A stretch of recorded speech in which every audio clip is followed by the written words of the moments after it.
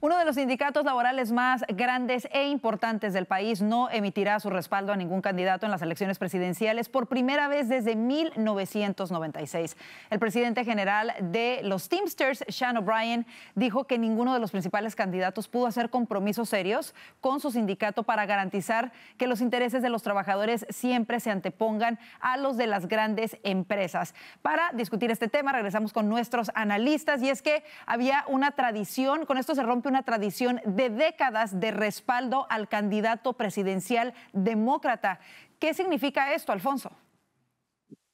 Esto es una notición y es un golpe durísimo para la campaña de Kamala Harris. La última vez que los Tinters endosaron un republicano fue a George Bush padre.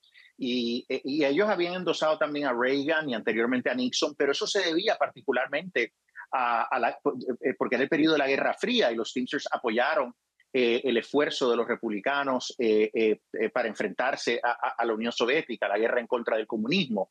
Pero desde entonces no endosaban, siempre han endosado demócratas. Y que este año no la endosen a ella realmente es un golpe muy fuerte.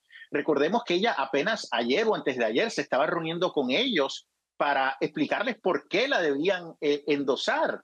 Eh, y sin embargo, parece que ese discurso que, del cual estamos hablando, ambiguo y general de ella, pues no, no convenció a los Teamsters. Ahora, al mismo tiempo, ellos han, han, estado haciendo unas encuestas y la última encuesta que hicieron de la membresía de los Teamsters demuestra que la inmensa mayoría, creo que hasta un 58% de los miembros de los Teamsters dijeron que votarían por Donald Trump. O sea, un margen de, de, de más de dos dígitos a favor de Donald Trump sobre Kamala Harris. En este momento, donde los votantes indecisos van a decidir esta elección, muchos de ellos, la mayoría de ellos, gente trabajadora, esto es un golpe fatal para, la, para Kamala Harris. Definitivamente, como tú lo dices, es un, es un titular gigantesco. Eh, ¿Cómo lo ves tú, Vanessa?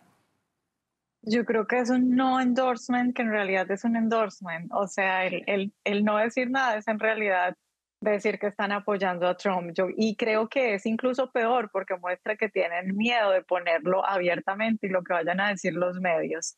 Eh, y creo que este punto, lo que mencionaba Alfonso, de que en las encuestas ellos tengan que alrededor del 58% apoya a Trump, muestra lo que, lo que todos los americanos deberían tener claro. Trump no es el presidente de la extrema derecha, es todo lo contrario, es el presidente que pudiera ayudar a la clase media, es el presidente que está hablando de los asuntos que preocupan a los trabajadores, es el presidente que está hablando de cómo tener mejores salarios, de que la gente pueda tener buenos empleos y, es el presidente que está dando soluciones a una situación que está afectando principalmente a las clases medias, porque esa es la realidad. La administración Biden y Harris ha afectado principalmente a las clases trabajadoras. Por eso es que eh, los endorsements que está teniendo Kamala Harris son de personas como Taylor Swift, que obviamente está más allá del bien y del mal, que no sabe cuánto vale un panal de huevos. Eh, y mientras tanto, Donald Trump es precisamente esa alternativa para esa gente trabajadora. Daniel, ¿cómo lo ves? Y esto yo creo que habla un poco de este, lo que llama mucho el realignment dentro de los, de los eh, de las coaliciones electorales en los Estados Unidos. Recordemos que históricamente el voto obrero, el voto de los sindicatos ha sido un voto profundamente demócrata. Los demócratas construyeron esa coalición eh, desde los 40 con Roosevelt y fueron ampliando esa coalición en los 60 con Johnson. Tuvieron algunos eh, ires y venires, pero eso ha sido un voto profundamente demócrata históricamente. El hecho de que los Teamsters no hayan apoyado a ningún candidato y no lo hayan apoyado específicamente porque las encuestas les muestran que sus miembros, sus seguidores, la gente que está en, en el... Eh, tal vez no la directiva, pero los, los miembros eh, rasos apoyan a Trump en una mayoría sustancial. Esto claramente demuestra que este realignment que empezó, esta nueva, nueva manera de, de, pensar en la política estadounidense a nivel electoral, que empezó en el 2016, se consolidó en el 2020, está continuando en el 2024. Por eso es que los demócratas, como bien dijo Vanessa, eh, los, los, los, apoyos son diferentes. Los apoyos no son del miembro de los Teamsters, sino son de cantantes, etcétera, porque hay diferentes eh, coaliciones electorales que se están construyendo el día de hoy. La manera de ver la política, que era muy común tal vez en el 2000 o en 1980, ya no es la manera correcta de la política estadounidense y esto claramente va a tener consecuencias no solamente para esta elección, sino para las próximas elecciones los próximos 12 años, seguro. Vámonos a este segundo tema que también es muy importante. El Comité de Seguridad Nacional de la Cámara de Representantes el día de hoy llevó a cabo audiencias sobre la crisis en la frontera provocada por las fallidas políticas migratorias de la administración Biden-Harris. Uno de los testimonios que más eh, causaron, de verdad, que a mí me estremecieron y que causaron eh, emociones, creo yo, en el recinto fue el de la madre de Rachel Morin, eh, esta, mm, esta joven madre de 37 años de Maryland que fue violada, golpeada y estrangulada hasta su muerte a manos de presuntamente un inmigrante de El Salvador. Y bueno, lo decimos porque hasta ahorita está acusado y en el proceso, ¿no? Vamos a escuchar lo que dijo y luego lo comentamos. So when the detective called and he said, Mrs. Morin, we found your daughter's body, you know that she's dead. It was such a complete shock to our whole family. It took 10 months for them to find this um, a suspected illegal immigrant. They used DNA because this man had attacked a nine year old and her mother in Los Angeles. Y otra de las cosas que ella decía es que si en la frontera, al ingresar este sujeto que venía huyendo del Salvador, porque aparentemente había matado a otra mujer allá, otra joven en El Salvador y se vino a los Estados Unidos. Si las autoridades aquí lo hubieran detenido, lo hubiesen procesado, se hubiesen dado cuenta que tenía una orden de Interpol, de arresto de la Interpol para, para ser detenido y no hubiese atacado a esa madre y esa niña de nueve años en Los Ángeles y no hubiese matado a su hija en Maryland, lejísimos de la frontera. Alfonso. Esto es terrible y, claro, eh, todas las semanas nos enteramos de un, caso nuevo y, lo que molesta es y ofende a tantos es la, falta de, transparencia de esta administración, de, no querer aceptar que esta migración masiva, desordenada, sin, sin, eh, desregulada, eh, lleva a un aumento en el crimen, en los delitos graves eh, eh, alrededor de los Estados Unidos. Hoy me enteraba de, también de otro caso de un dominicano que asesinó a una familia entera, a padres y a niños, em, eh, y que también tenía antecedentes penales. Entonces, aquí hay un problema de que no se está haciendo el chequeo adecuado de los antecedentes penales cuando estas personas llegan y por otra parte los están soltando, porque mira, si tú lo detienes a estas personas en lo que haces el chequeo, pero la administración dice que ellos están abrumados, que son demasiadas personas, que no los pueden detener y los sueltan. Pues lo que está haciendo esta administración es soltando a terroristas, soltando a criminales y ellos no pueden lavarse las manos.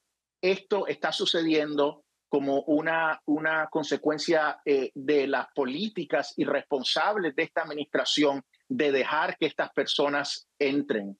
El presidente Trump había establecido eh, la política de permanecer en México, que cualquier persona que pidiera asilo tenía que esperar fuera de los Estados Unidos eh, eh, antes de entrar a los Estados Unidos.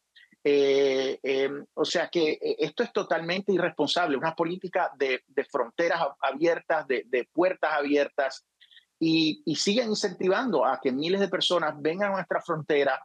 Ellos saben que si dicen que van a ser perseguidos en su país de origen, los van a dejar entrar y que la, y que la patrulla fronteriza está tan abrumada que, ni, que los chequeos eh, de antecedentes penales no se pueden hacer adecuadamente y, y, que no los pueden detener, o sea que los van a soltar. Así es, pero y fíjate que ahorita me acabo de acordar precisamente que eh, escuchando a Kamala Harris durante esta reunión del día de ayer con eh, los periodistas afroamericanos, ella decía que ella quería una presidencia donde todo el mundo se sintiese seguro, que hoy por hoy los miembros de la comunidad LGBT no se sentían seguros, tenían miedo de sufrir algún ataque, que otros, que los inmigrantes no se sentían seguros, que se sentían perseguidos y tenían miedo de sufrir un ataque, pero en ningún momento mencionó por ejemplo, a las comunidades migrantes que se sienten inseguros por tren de Aragua, de tumbando las puertas de los departamentos o cobrando cuotas, o a estas familias estadounidenses y también familias migrantes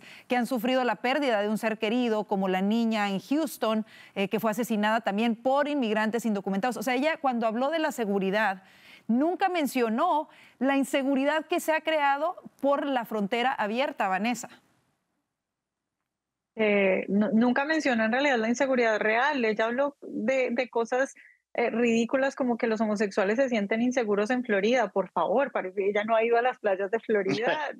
Kamala no ha pasado por las calles de Miami. A South Beach, para por ejemplo. Nada. Claro. No los veo para nada inseguros ni temerosos. Los homosexuales viven muy bien en Florida y eso está muy bien. Ella está simplemente completamente desubicada de lo que está pasando sobre esta audiencia. Eh, sobre lo que contaba la mamá de, de, por qué no lo capturaron y cómo este señor eh, tenía esa orden de captura eh, en El Salvador. Em, hay, hay, una cosa y es que antes los delincuentes de Estados Unidos huían a Latinoamérica para no ser capturados. Ahora los delincuentes de Latinoamérica están entrando a Estados Unidos para no ser capturados en sus países y no son capturados acá, al contrario, eh, los vemos con todo el poder eh, tomando edificios y todo eso. Y otra cosa también muy importante que una frase de esta audiencia que debería ser eh, titulares en todos los medios, que seguramente solo lo vamos a ver en Fox o por ahí en Newsmax, pero hay un señor, este señor se llama Jim Desmond, que es el supervisor del condado de San Diego en California, que estuvo hablando en esta audiencia, dijo lo siguiente, la patrulla fronteriza se ha convertido en Uber para migrantes y eso a mí me impactó muchísimo. O sea, simplemente dijo, los tienen transportando migrantes, eso es lo único que hacen. Ahí lo tenemos, de hecho lo tenemos en pantalla eh, y es justo eh, lo que tú estás diciendo, lo que él dijo, este, y, definitivamente es una eh, declaración fuertísima, fuertísima decir que los agentes de la patrulla fronteriza se han convertido en choferes de Uber para transportar a los inmigrantes ilegales con dinero de los contribuyentes es insólito. Daniel.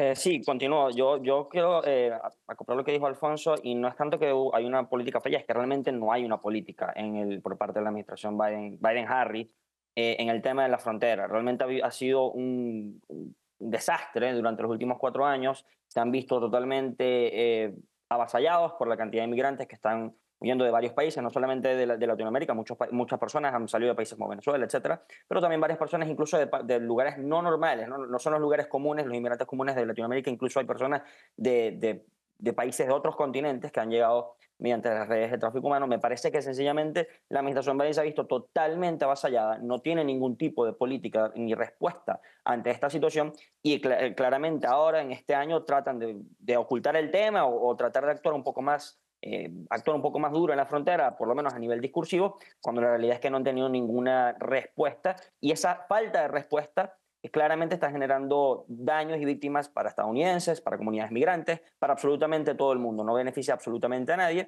Y es momento claramente que Washington eh, tome manos a la obra, ponga manos a la obra en el tema de la frontera y tenga una política clara sobre eh, asegurar la frontera y también tener una reforma migratoria tal vez un poco más sensata a largo plazo. Y lo triste que la única retórica por parte de la administración Biden para quienes quieren eh, una migración legal es llamarles racistas e inmigrantes. Eso fue lo que declaró hoy mismo en esa audiencia el congresista antiinmigrantes, perdón, el congresista Carlos Jiménez de Florida.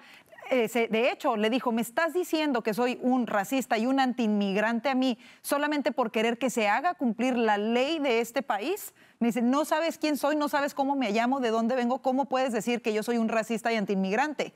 por simplemente querer que se ponga en, en, práctica las leyes del país. Increíble, de verdad. Esta es la retórica, la única retórica que tiene la administración Biden-Harris en relación a este problema de la frontera.